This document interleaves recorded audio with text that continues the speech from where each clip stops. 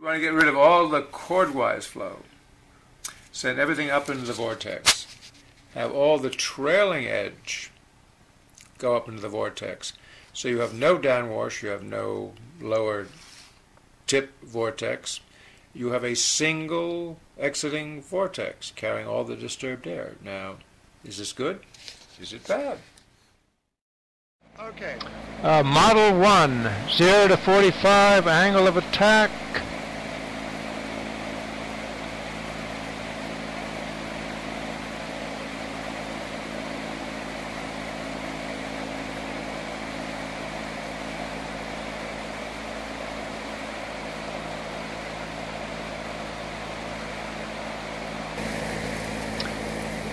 LEV, leading edge vortex at 30 degrees angle of attack.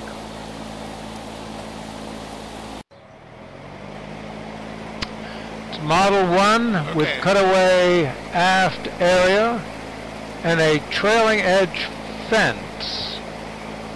Uh, 0 through 45 angle of attack. Okay. Okay, ready. Model 2 with left sweep back and hollow leech. 0 through 45 angle of attack.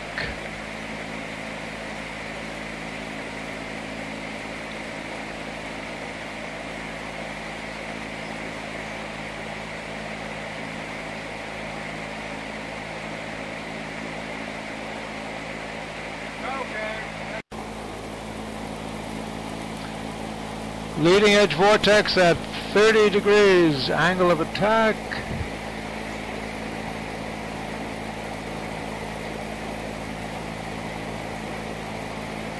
And the tip vortex.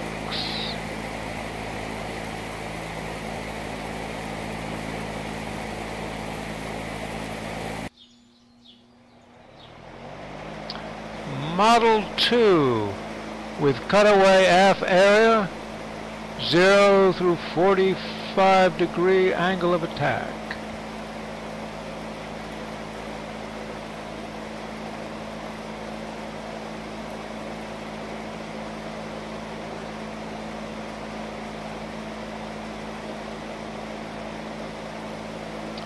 And back to a 30 degree angle of attack.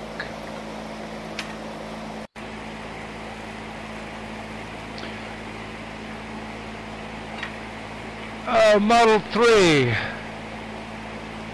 0 through 45 angle of attack.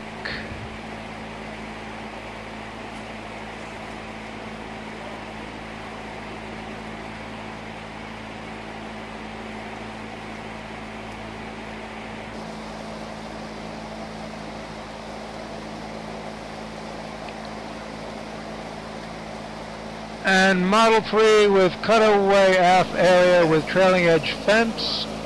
All flow is up. Intense leading edge vortex. And a reduced tip vortex.